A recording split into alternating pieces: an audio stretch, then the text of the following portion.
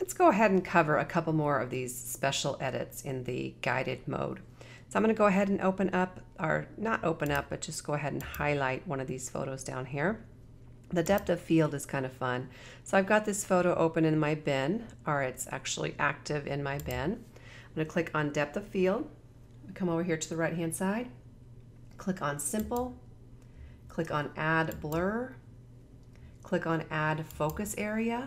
What I'm going to do is I'm going to click and drag a little circle area. See, it's how it's just making that first point all 100%, and then it kind of slowly, gradually pulls out that from the center. So I can do it a couple different times. If I want it to be a little bit more uh, blurry on the right hand side, I just go ahead to the left and click and drag. You can keep doing that and there's you know areas that you can put into effect. See how I'm making this guy stand out and then he's standing out? Probably would not do that, but I just wanted to let you know that you can add that focus area in more than one spot. So let's just cancel that and try another photo. Like for instance, this one here, depth of field. I'm going to click on simple. I'm going to click on add blur. I'm going to click on add focus area. I'm going to focus on him, click drag, kind of pull it a little bit further. As it goes out in the distance, it's blurry. You can make it even more blurry if you want to take the slider up or down to give it that effect. Let's cancel that. Let's move on to the next one. Now this is a frame creator and I go into more detail in the what's new to version 15, so check that out. The Orton effect I really like. Let's pull it and let's make this photo active. Go to Orton effect, click on add for Orton effect here.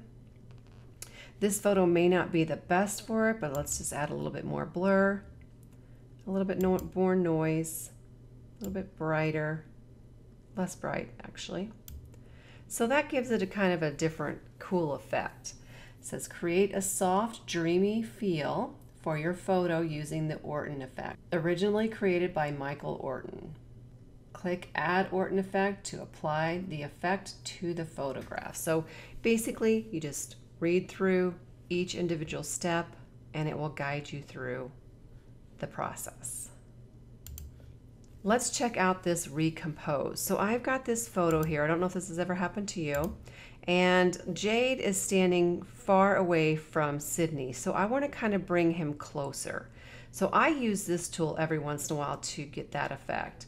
So over here to the right, it says to drag the image handles on the sides or corners to recompose your photo. So I'm going to click on recompose photo and you have these little little sliders here. They're very hard to see. At first I was like, what are they talking about?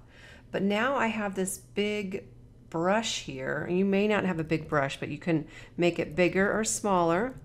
And I'm going to say, okay, Jade needs to not be um, well, here, let me just show you this. Let me show you this for one. Let me just undo that because this will make much more sense. So if I were just to recompose right now, watch what happens. Jade gets really super skinny, okay? I don't want that to happen. So in order for him not to get super skinny, I have to come in here. Let's just undo that, escape out of there. I have to come in here and say, don't mess with Jade's uh, figure, I guess I could say, or physique. So let's not mess with Jade. And then I'm also not going to mess with these guys either. So I'm just going to go ahead and quickly go over the top of them. And you'll see this is kind of weird. Took me a while to understand this, but I don't want to mess with them. And I'm doing it really, really quickly. So I don't want to mess with them. So now what we can do, we're protecting them. See how it says protecting? And I'm going to protect this. Now I can come in here and we can pull it together. See how Jade is getting closer to Sydney now? Let's do it about right there. And then I click on OK. And then what I normally do is I go back into the expert mode and I will go ahead and crop it to the size that I want it to be. So this is kind of tricky. You might have to do this a few times, read the instructions. Um, on the right hand side, but it is a little bit tricky because of the fact that you do have to protect those images because if you don't, they're going to be distorted.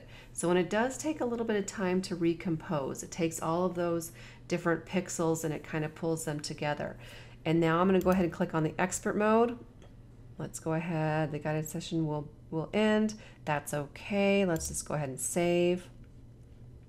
And then I can go into the crop tool I can make it a 5 by 7 if I want to, or a 4 by 6. Let's go 4 by 6. I'm going to go and put punch in 300 resolution just because. And now I can go back in here and remake this a 4 by 6. Don't want it to get too close to the edges there, so let's just go right about here. A little bit more. I don't like to get too close right there. And over here, let's make it bigger here perfect. Click on the check mark. And now we have a better photo. Jade is closer to Sydney. So I really do like that one. Uh, that goes back into the guided section and that was under recompose.